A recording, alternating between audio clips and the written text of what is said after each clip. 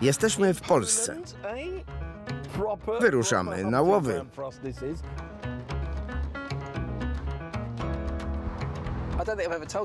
Chyba jeszcze ci nie mówiłem. Mówię biegle po polsku.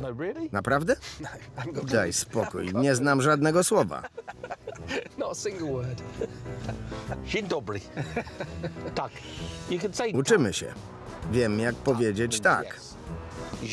Dzień dobry. dziękuję, dzięki. Jesteśmy półtorej godziny od Warszawy. To miasto nazywa się Łódź. Łódź. W-O-O-A.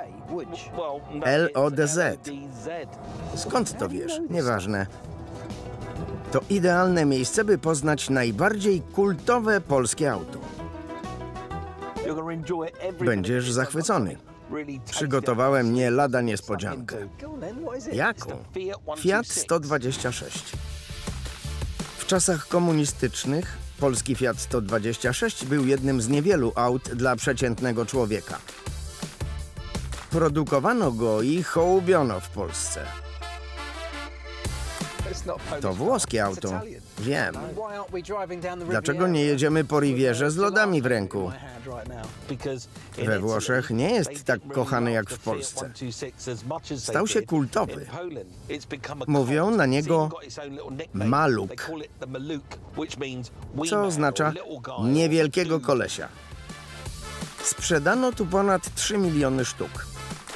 W dzisiejszych czasach wciąż jest uważany za narodowy skarb.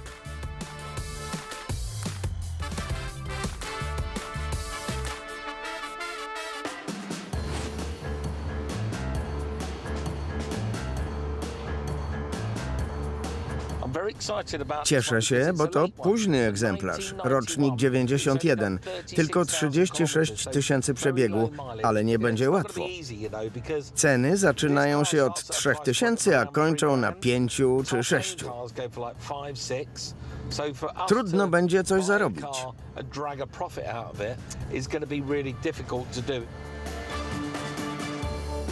Para sprzedająca auto mieszka pod miastem. Ich angielski jest tylko trochę lepszy niż polski Elvisa. Mój znajomy Martin będzie tłumaczem. Cześć, to Elvis. a więc to twoje auto. Podobny do muscle cara. A tiny Trochę mniejszy. Brakuje mi tylko widlastej ósemki. Widzę sporo przeróbek. Zwiększona pojemność, inny gaźnik, sporo drobnych zmian i głośny wydech. Obejrzymy auto na sprzedaż? Tędy.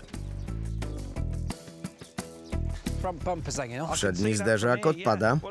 Widzę. Przynajmniej ma cztery koła. Artur?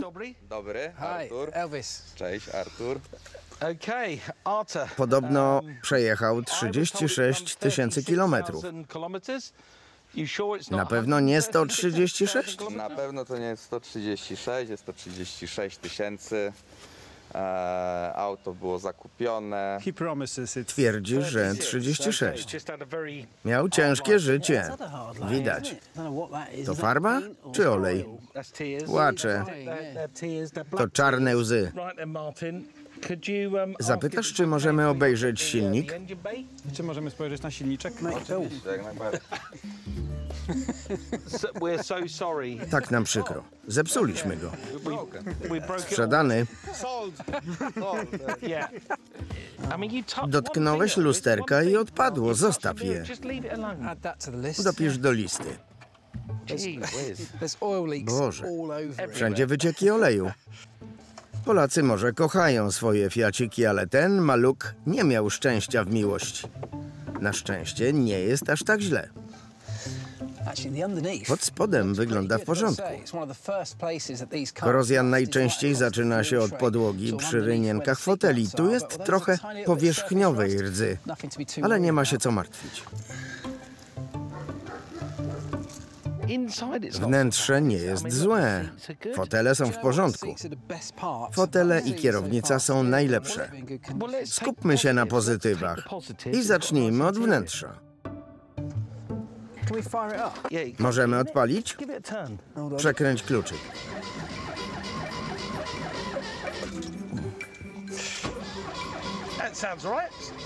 Nieźle brzmi. Odpalił.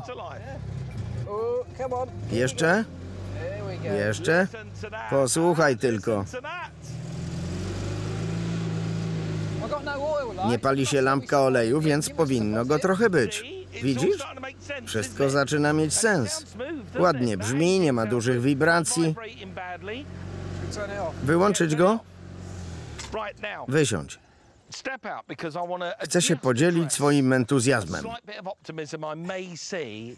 Coś mi się wydaje, Is it me or is this że ten maluk błaga nas, żeby go Is uratować. it not calling out to us and it's asking us, it's begging us to save it? It needs someone Na pewno potrzebuje czyjejś pomocy. Zacznijmy od pozytywów. Nie ma za dużo rdzy, a te autka rdzewieją na potęgę. Jest sporo wad. Problem w tym, że czeka nas sporo pracy. Nie wiem, czy przy tej cenie auta uda się coś zarobić. Nie mam pojęcia, co z nim zrobić. Niech sam do nas przemówi. Przejedźmy się. Yeah, I'm, I'm quite excited. Nie mogę się doczekać. Świetnie. Oh. Boże.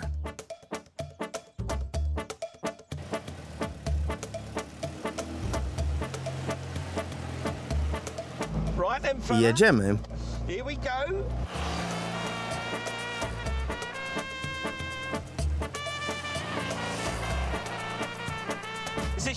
To twój pierwszy 126? Tak. Czy spełniło się twoje marzenie?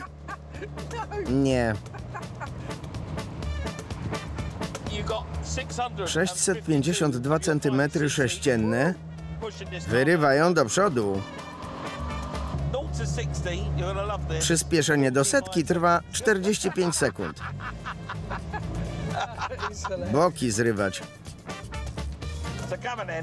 Znalazłeś jakieś wady? Zawieszenie jest bardzo miękkie. Nie wiem, czy takie było fabrycznie. Powinno być twardsze. Wiemy, że są problemy ze zderzakiem i lusterkiem. Z deski rozdzielczej leci dym. Oh. Oh, Nie żartuję, pali się przełącznik.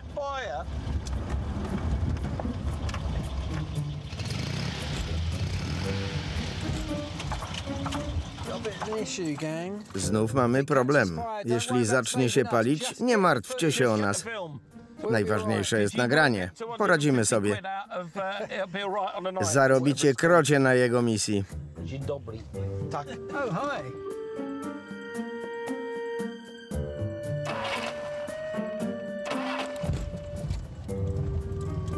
Dziękuję.